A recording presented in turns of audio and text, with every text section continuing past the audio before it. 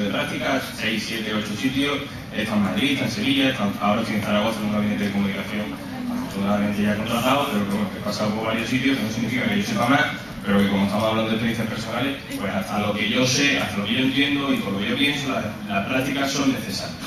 Son necesarias como parte de la formación, punto no como parte de estar dentro del eslabón del sistema y es lo que aceptamos, yo incluido porque me he hartado. Eh, ¿Qué significa eso? Que tú haces tus 3, 4, 5, 6, 6, 7 meses de práctica como estipula cada una de las leyes de la universidad y cada uno de los medios. Pero a partir de ahí, yo creo que, como bien dice el compañero, nos tenemos que negar en rotundo a seguir siendo periodistas con contratos de becario. Porque lo que hacemos.